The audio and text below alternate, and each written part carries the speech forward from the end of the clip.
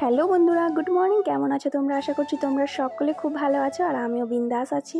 তো বন্ধুরা, আমার চ্যানেলে তোমাদের সকলকে স্বাগত। তো বন্ধুরা এই দেখো, আমি আম ছুলতে ব্যস্ত। কারণ এই আমগুলো হলো সেই আমগুলো যেটা আগের ভিডিওতে তোমরা দেখেছ, বর গাছ থেকে পাচ্ছিল। সেই মালদার আম, চারটে আম নিয়ে এসেছিলাম যে চারটে আম মাখা করছি। তো সকালের নাস্তা হয়ে গেছে, এখন হলো আম খা মানে মাখা খেয়ে তারপরে স্নান করে তারপরে আমি ভাত খাব। তো এখন বোন আর আমি দুজনে আম মাখা মানে খাওয়ার জন্য প্রস্তুতি নিচ্ছি। তো এখন তো আমি বাপের বাড়িতে, তোমাদের বলেছিলাম আগের ভিডিওতে যে আমরা, আমি ডাইরেক্ট বাপের বাড়িতে উঠবো, তারপরে হাজব্যান্ড চলে যাবে, আমি কদিন থাকব, এক সপ্তাহের মতো। তো চলো দেখতে থাকো পুরো ভিডিওটা। আশা করছি ভালো লাগবে। আর আজকের ভিডিওতে আমি অনেক কিছুই তোমাদের সাথে শেয়ার করব। মানে বাপের বাড়িতে যেই কদিন ছিলাম, সেই কদিনে যা যা করেছি মানে এক সপ্তাহের মধ্যে সেগুলো সবটাই তোমাদের সাথে শেয়ার করব। তারপর তো শ্বশুরবাড়ি চলে এসেছি। তারপর আর কোনো ভিডিও ক্রিয়েট করিনি। কারণ হলো আগের ভিডিওগুলো এগুলো ভিডিও যদি কলকাতার ভিডিওগুলো তোমাদের সাথে না শেয়ার করতাম, তাহলে তো তোমরা মিস করতে। আর হলো, অনেকগুলো ভিডিও মানে রেডি করে রেখেছিলাম তোমাদের জন্য শেয়ার করার জন্য। তো এই ভিডিওটা লাস্ট মানে আমার কলকাতা থেকে বাড়ি, বাপের বাড়ি পর্যন্ত। তারপর আবার তোমরা মানে আমার এই শ্বশুরবাড়ি থেকে ভিডিও মানে করব, সেটা দেখতে পারবে। তো এই দেখতে পাচ্ছ, বাবা মাছ নিয়ে এসেছে। এটা আরও রিঠা মাছ। তো হলো, এখন মাছ রান্না করব। আম মাখা খাওয়া হয়ে গেছে। এখন হলো মাছ রান্না করব। তো দেখো মাছটা কি ভালো লাগছে, লাল টুকটুকে একদম। তো এইখানে আমি আমি তোমরা তোমার আগে যদি ভিডিও দেখে থাকো, তাহলে অবশ্যই জানবে যে আমার আমার মা নিরামিষ খায়। তো রান্নাঘর আলাদা। মানে আমি রান্নাঘরের এই পাশে বাইরে মানে ডাইনিং ডাইনিং রুমে আমরা, আমি রান্না করছি সেখানে। এখানে গ্যাস আর ওভেনটা আছে। তো বন্ধুরা, একদম বাড়িতে খাওয়া দাওয়া করে বিকেলের দিকে বোনের বাড়িতে চলে এসেছি। মানে ছোট বোনের সাথে, ও স্কুটি চালাতে পারে আরামসে। আমি ওর গাড়িতে বসে চলে এলাম। আর আগে তো হেঁটে আসতে হতো বাবা স্কুটি নেওয়ার পরে মানে সুবিধে হয়ে গেছে। তো এখন বোন চালিয়ে নিয়ে আসতে পারে। আমিও পারি, কিন্তু আমি অতটা হাত পাকা নেই। এখন আমি অনেকদিন ধরে চালাই না বলে আমার একটু হাত মানে একদম ব্যালেন্স হাতে ব্যালেন্সই নেই বলা চলে। মানে পারি না। তো অনেক দিন ধরে না চালালে যা হয় কি, আমি একবার যখন শিখেছিলাম নতুন নতুন, তখন ওই শেখাই শেষ। তারপর আর মানে চালাইনি। তো বন্ধুরা, এই দেখো আমাদের মানে ফুচকা। তোমরা হয়তো কে চেনো আমার মানে ভিডিওতে আছে। তো হলো আমাকে বলছে যে, তুমি থাকো। আর ভুলে বলে ফেলেছে ছোটো মানে আমার ছোটো বোনকে যে মানি থাক, তুই চলে যা। তো ওই কথাটা বলাতে ছোটো বোন বলেছে, তুই আমাকে যেতে বললি? তাই ওইটা নিয়ে ওর সাথে কথা বলছে। আর ওকেও তুই করেই বলে। দুজনে খুব মানে ঝগড়া করে মাঝে মাঝে যখন ওকে বলছে যে, আমি ভুল করে বলে ফেলেছি, তার জন্য এত রাগ করছিস? এটাই বলছে। আমি ভাবছি তোর টিউশন আছে, তুই তো টিউশন পড়াস মানে আমি ছোটো বাড়িতে টিউশন পড়াম ভাবছি, ও ভাবছে টিউশন পড়া হয়তো মানি থাকবে না, ওই জন্য ছোটো মানি চলে যাবে। তো ও বলছে, হায় ভগবান, আমি কি বললাম, আর তুমি কি বুঝলে? তাই বলছে। তো দুজনেরই মানে কথোপকথন চলছে। তো সেটাই ভিডিও করেছি। আর কথার মাঝখানে বোন মোবাইলে গান চালিয়েছিল, ওই জন্য আমি এটা মানে ডাইরেক্ট কথাটা দিইনি, কারণ কপিরাইট দিয়ে দেবে। তো এখনও গেলে ওর মার কাছে রান্নাঘরে লজ্জা পেয়ে গেছে মানে আমাকে থাকতে বলেছে, কারণ আমাকে খুব মানে অনেক দিন পর পর আসি না, আমাকে থাকার মানে ওর খুব ইচ্ছা যে পানি থাকুক, কিন্তু আমি তো থাকব না, চলে যাব। তাই ও বলছে, মানি তুমি থাকো, আর ছোটো মানি যা, কারণ ছোটো মানি তো টিউশন পড়াবে। ওই ভেবে চিনতে বলে ফেলেছে। এবার আমার ছোটো বোন বলছে, তুই আমাকে এরকম বললি কেন? তোকে আমার বাড়িতে যাইস, তোকে কত ভালোবাসি। তুই কথাটা বলতে পারলি? এইবার ওর মাকে বলে এসে এবার বলছে, থাকো থাকো, তুমিও থাকো, মানিও থাকো, দুজনেই থাকো। মানে এখন এটাই বলতে আসছে। দেখছে যে ভুলে বলে ফেলছে, এখন মানি তো খারাপ পেয়ে গেল, যদি চলে যায় রাগ করে আর না আসে। কারণ ছোটো মানিকে খুব ভালোবাসে। এই যে মেলায় যখন যাচ্ছিলাম, অক্টোপাসের যে একটা মানে ভিডিও করেছিলাম, ওই মেলাতে মানে খাইবার পাস মেলাতে দেখেছিলে, কীভাবে বারবার ও পিছনে দেখছিল? পিছনে আমার ছোটো বোন গাড়ি চালিয়ে আসছিল। ও বারবার বলছিল, মানি ঠিকঠাক আয়, মানি দেখিস গাড়ি। মানে এত কেয়ার ছোটো মানির। সবাইকেই খুব ভালোবাসে। মানে আমাকে খুব ভালোবাসে, ওর ছোটো মানিকেও খুব ভালোবাসে। আমি তো অনেকদিন পর পর যাই, তো ওদের ওই ইচ্ছা যে আমি ওদের বাড়িতে থাকি। তো এখন ওর মা চাউমিন বানাচ্ছে। সন্ধে হয়ে যাচ্ছে, আমরা খেয়ে দিয়ে ও বলছে, না খেয়ে যাস না, তো খেয়ে দিয়েই চলে যাব। বেশি সন্ধে হয়ে গেলে আবার অসুবিধা হয়ে যাবে, তো রাস্তাটা ফাঁকা থাকে, তো এখনই চলে যাব একটু পরে।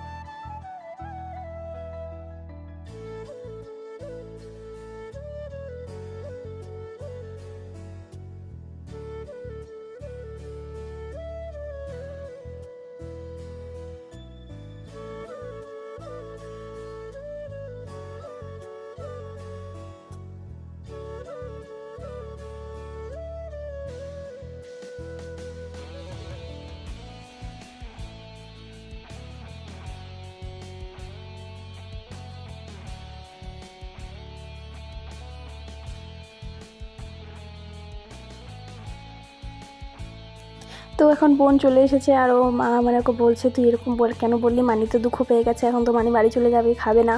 তো বলছে, মা, আমি সরি বলে দিচ্ছি, আমি যে মানি যেন না যায়, একটু ভুল করে বলে ফেলেছি, ও ইয়ার্কি মারছে, হাসছে, আর বলব না কোনো দিন তাই বলছে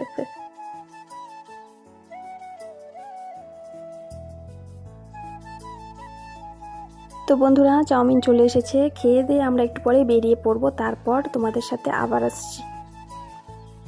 তো বন্ধুরা, এখন দেখতে পাচ্ছ তোমরা রেডি হয়ে গেছি। মা, আমি, বোন মানে পুচকাও রেডি আমরা যাচ্ছি একটু দিদার বাড়ি মানে বড় মাসির বাড়ি যাব। তো বড় মাসির বাড়ি চলে এসেছি। বড় মাসির ছোটো ছেলের ঘর রেডি হচ্ছে। মানে ও আগে এই পাশের ঘরে থাকতো। এইগুলো ঘর নতুন বানিয়েছে, তো এই রুমে চলে আসবে ওরা। খাট বানাচ্ছে। তো কি সুন্দর, দেখো খাটটা বানাচ্ছে। আর এই যে বড় বৌদি, বড় বৌদির মেয়ে হয়েছে, দেখতে আসা হয়নি। এর মধ্যে কিছুদিন আগে হয়েছে। তো এখন হলো এক মাস উনিশ দিন। তো দেখতে আসা হয়নি, এই চান্সে আসলাম। দেখতে যখন বাপের বাড়িতে আছি, মা বলল, চল ঘুরে আসি। আর এই দেখো মাকে পুরো আম খাচ্ছে, বাপের বাড়ি এসে মেয়েদেরকে ভুলেই গেছে, এরকম অবস্থা। সব মেয়েরাই তাই, বাপের বাড়ি গেলে বাচ্চাদের কথা আর মনে থাকে না। তো ওই যে আমার মামি, আমার একটাই মামি আর এই যে ভাইয়ের বউ মানে ছোটো মাসির ছেলের বউ মানে বউ, আর ওই যে ভাই উপরে আম পাড়ছে আর মা এদিকে খাচ্ছে, সবাই মিলে আড্ডা মারছে। আর আমরা ছোটোবেলা থেকেই যখন করে দিদাবাড়ি আসতাম, সবাই চলে আসতো এখানে। এখানে মানে দিদাবাড়ির কাছে ছোটো মাসি, বড়ো মাসি দুজনেই থাকে আর সবার বাচ্চা কাচ্চাগুলো সবাই আমরা এক জায়গায় হই। কোনো অনুষ্ঠান হলে সেই মজা হয়। তো এটা আমার দিদাবাড়ি মানে মামার বাড়ি। আমার একটাই মামা আর ওই যে মামি। তো এখন তো দাদু নেই। কিছুদিন আগে মানে কিছুদিন না সরি কিছু বছর আগে দাদু মারা গিয়েছে, তো এখন দিদা আছে। সো তো দিদা এখন মানে কি বলব, বাড়িতে এই রুমে দিদা নাতিকে নিয়ে থাকে, এই পাশের রুমে। আর ওই পাশে আমি পরে তোমাদের দেখাচ্ছি। আর এই দেখো ও প্রেগনেন্ট আর আমরা সবাই মিলে এখানে আড্ডা দিচ্ছি। আর ওই যে ছোটো ভাই মানে ছোটো মাসির ছোটো ছেলে। তো সবাই মিলে আড্ডা দিচ্ছি। আর এই যে দেখো আমরা, মামি বলছে, চল কিছু খেয়ে আয়। তো এই আন্টির দোকানে যখনই আসি, তখনই মোমো, চাউমিন বা টাইফু কিছু না কিছু খাবোই। তো এখন আমার খুব টাইফু ভালো লাগে, তাই খাচ্ছি। সবাই খাচ্ছে। তো এদেরকে এখনও দেয়নি। এরা এই যে মাসির মানে ছোটো মাসির মেয়েও তো এই যে এদেরকে এখন দিয়েছে, তো ফুচকাও চলে এসেছে। সবাই মিলে খাচ্ছে। তো বন্ধুরা, এই দেখো আমার মানে বড় মাসির বড় মানে একটাই মেয়ে। তো ওদের বাড়ি ওটা, ওই যে লাইট জ্বলছে জানলাগুলো, ওইটা ওদের বাড়ি, জাইমুদের বাড়ি। আর হলো এটা হচ্ছে মানে ছোটো মাসিদের বাড়ি। আমরা এখন যাচ্ছি হলো মানে একটা জায়গায়। তো চলো তোমাদেরকেও নিয়ে যাই। এখানে হলো কীর্তন হচ্ছে নেপালি মানে ভাষায় কীর্তন হচ্ছে। তো তা ভাই বলছে, চলো দেখে আসি রাধা গোবিন্দ মন্দির আছে, এখানে নতুন হয়েছে। তো একটা জঙ্গল এরিয়া মানে ওই ভেতর সাইডে মানে যেতে পারবে না একা একা মানে খুবই জঙ্গল। তো ওই সামনের দিকে এই মন্দিরটা হয়েছে। তো চলো আমরাও যাই, একটু কীর্তন শুনে আসি, আর একটু ঠাকুরের মন্দিরটাও দর্শন করে আসি। তো তোমাদেরকেও সাথে নিয়ে যাব। তো সাথে থাকো, দেখতে থাকো। আশা করছি তোমাদের ব্লগটা খুবই ভালো লাগবে। সব মিলিয়ে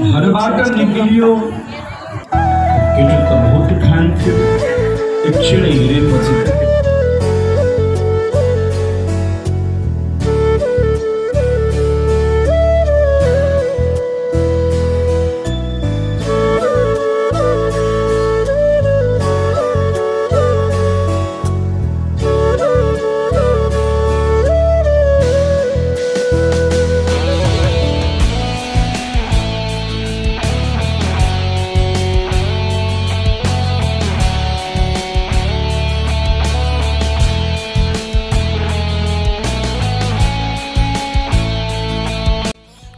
বন্ধুরা দেখতে পাচ্ছ, মন্দিরটা কি সুন্দর ডেকোরেশন করা আছে। তো ভাই আর মানে ভাই, ভাইয়ের বন্ধুরা এসে এখানে সাজিয়ে গেছে, তাই বলল যে আমরা এখানে সাজিয়ে, এখানে পাড়ার মন্দির, তো এখানে অনুষ্ঠান হলে আমরাই সাজাই। তো দা, ভাইরা এসে সাজিয়ে গেছে। তো দেখো কি সুন্দর সাজিয়েছে মন্দিরটা।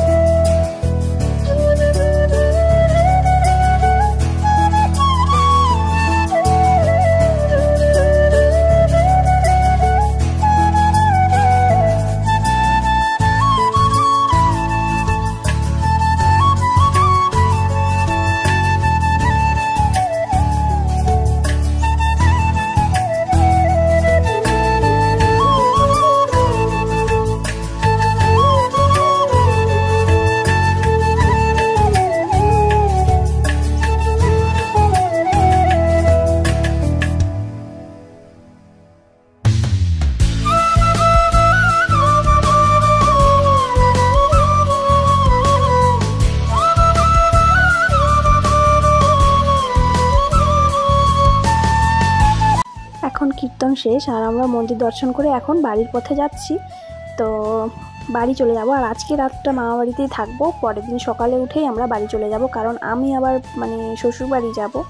তো গোছাগাছির ব্যাপার আছে, জিনিসপত্রগুলো গোছালো হয়ে আছে, ওগুলো গিয়ে গোছাতে হবে।